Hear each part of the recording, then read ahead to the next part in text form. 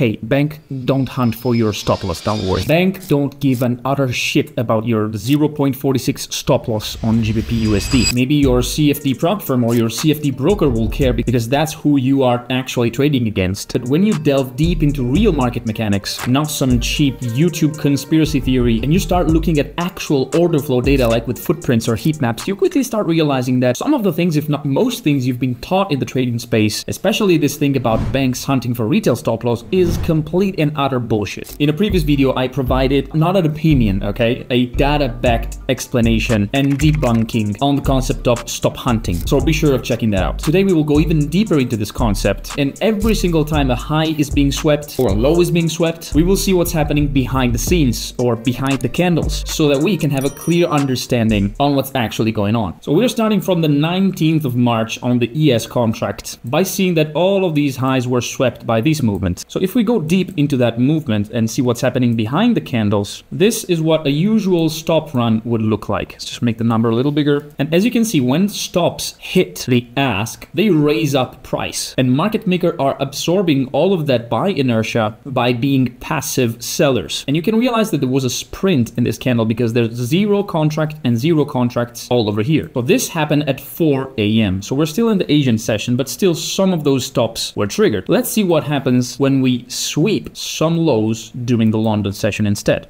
We see that down here, yes, maybe some aggressive selling has happened, but not that much. There's not a lot of imbalances, not a lot of delta. Then once we go below those lows, once again, there's a little bit of a selling activity, but very few. So this is not a stop run per se. There was not a lot of stops being triggered here. This is what we called a failed auction. So sellers trying to break below, but not having enough strength to push it lower and lower. Instead, new aggressive buyers starts kicking in. So yes, a low has been swept, but this is not a stop run. And for sure they didn't hunt for retail stop loss as we discussed. Let's see what happens. Once we go above that level, new buy orders starts kicking in. And as you can see, volume starts rising. But even if there is some sort of stop run right above here, which by the way is exactly above this high, firstly, we see a lot of aggressive selling at that level, but only once we sweep above this other high, then we see an actual stop run. This is more likely to be a stop run. And as you can see, we don't go down right away and invert for the rest of the session. We just simply reabsorb absorb this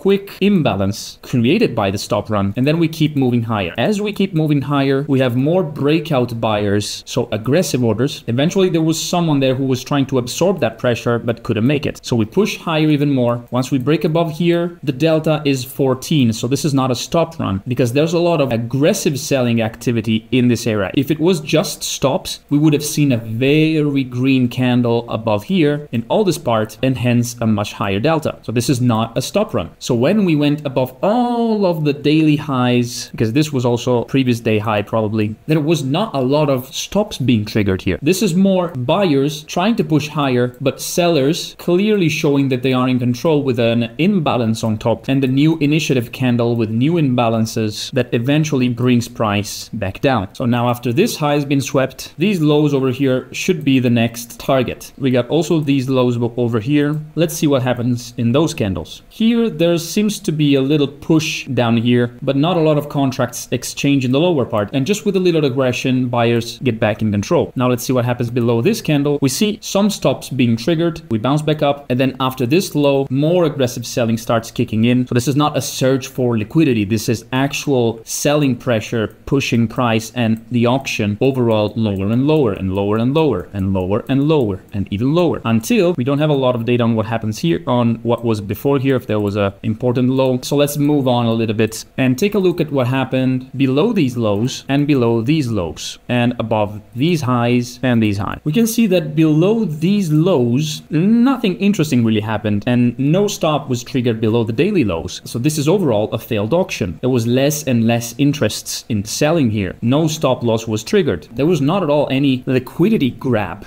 below here, whatever that means. Let's see what happened up here instead. Once we sweep the first high, here we have seen some increasing buying activity, which could be a stop run. We would need MBO data to qualify it. But anyways, we have some response, as you can see. Like we have all of these green candles that suggest us that passive sellers were absorbing all of this very little buying activity. And then with just a little aggressive selling, price went completely on the other side. But let's see what happens above the current session high. And as we can see, not a lot of activity here either. I would also define it as a failed auction. Not a lot of stops being triggered. Now, now let's see what happens here. Probably, by the way, at this point, at this time of the day, in this day, there could have been some sort of FOMC data or meeting. So let's see what happens below the low that they plotted during that news event. As we can see, there is some volume here, but not surprisingly high volume. Volume is high all over the previous candles. Actually, here we're not even that high. We have 12k con, we have 9k contracts, 12k contracts, and an exhaustion in sellers. There was not a lot of stops being triggered below here. Let's see once we break above this high what happens. Not a lot of activity here. Once we break above that though, then we really start seeing some buying aggression coming in. This candle is 10k contracts, way higher than all the previous candles. In fact, when we test all this area of huge aggressive buying, we keep trading higher and higher and higher. Now we traded all the way higher. Let's see what happened at the top, right above all of these highs. And look at how many highs there are here. There is this high, this high, this high, this high, this highs. Let's see what happens here. There must be a lot of volume, right? 2,000 contracts.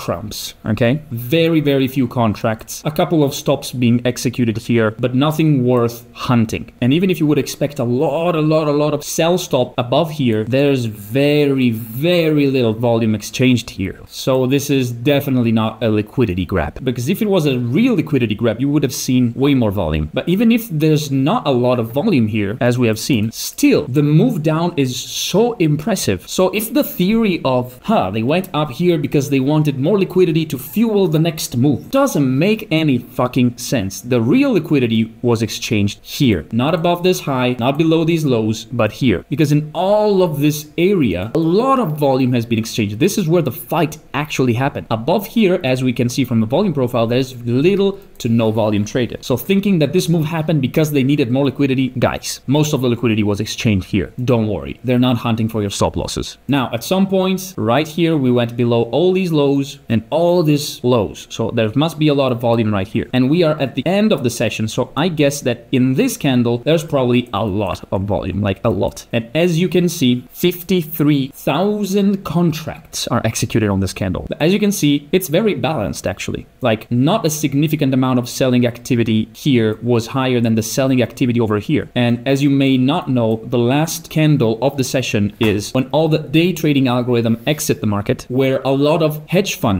or long-term funds like ETFs are buying the underlying asset because they're required to do it by law. So market makers or passive liquidity becomes extremely active. There is a huge feast for market makers. This is the best time to be a market maker because you can earn a lot of money from just bid-ask spread. So this is not a stop run. This is a huge absorption of contracts in every part. And as we can see, this huge liquidity grab doesn't fuel a move higher because we keep getting lower and lower and lower. So what are we really talking about here? Because yes, this pattern has an edge, but calling it stop hunting or liquidity grabbing, if you look at actual volume, most of the times it doesn't make sense. And it is more likely than a real stop run, not stop hunting, stop run. Why is it called stop run? Why was this move in the order flow space, not the ICT space, the order flow space, was usually called a book sweeping or a stop run and not hunt. There's no one hunting for stop losses. We call it a stop run because when we go below these lows and below these lows in all of this area, there might be some level of stop orders. There's gonna be stop orders resting below and stop orders are very specific. They are sell order hitting the bid. So all of the orders here in the purple part are aggressive selling order. So if this magnitude of aggressive selling happens below a low, we can deduce it's an actual stop run and it's called a run because the moves happens really fast. And this happens because when there's stops, they're triggered market. So they're going to be executed at the best price where there is some buying liquidity available in the order book, as we discussed in the previous video. You should check them out, by the way. So in every one of these levels, there were buying contracts, buying contracts, buying contracts, and the sell stops that were here consumed and swept all the buying liquidity. So stop order swept away book liquidity. It was not stop being swept. It was stop orders sweeping the book. That's why it is called book sweeping. So all this part of the book becomes basically empty. And as you can see in this part of the candle, the right side of the candle, there's little to no trading activity. In fact, the delta is way above 50%. And there is a lot of volumes. This, this is an actual stop run. All of the rest we have seen in the previous example, really few of them were actual stop runs or actual liquidity grabs. But again, even here, you would think that this move below here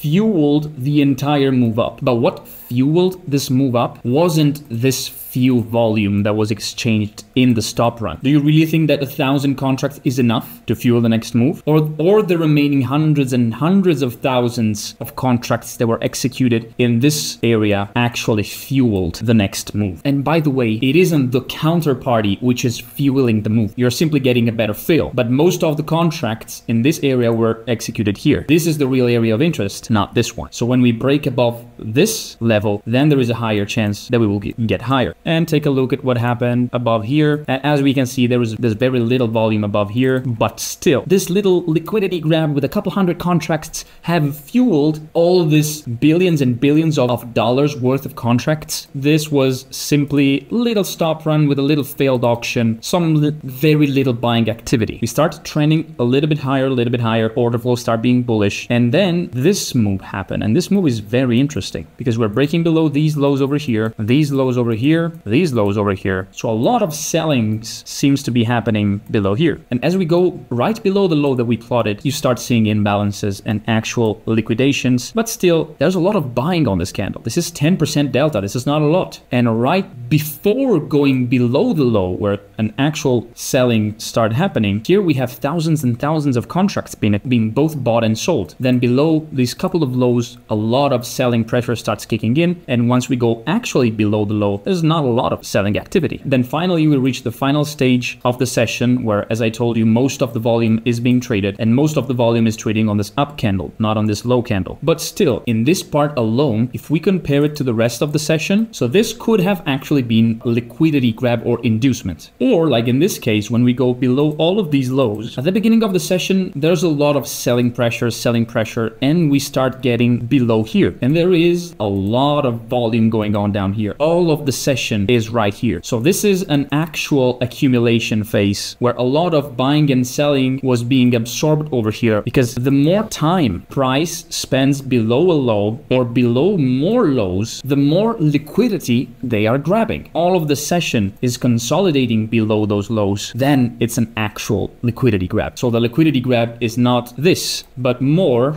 something like this. This was the liquidity grab. So a whole phase of distribution or accumulation as Wyckoff called it, which is, by the way, the basics of all ICT concepts or all order flow concept, volume analysis concepts. It all comes from Wyckoff. So it's not about an algorithm. It's not something new. This new trendy ICT thing is nothing new. No one invented anything new. It's been around for a hundred years. All right. Now let's take an example right here. After the latest FOMC data, we had a bunch of lows below here. Let's see how many contracts were executed there. Yeah, not a lot of contract. So do you really think that from up here they moved hundreds of hundreds of thousands of contracts and billions of billions of dollars just to take a couple of stops here? As you can see, order flow data shows us a different story. We will keep going deeper into these concepts in the next videos, so subscribe to the channel now. See you in the next one. Ciao.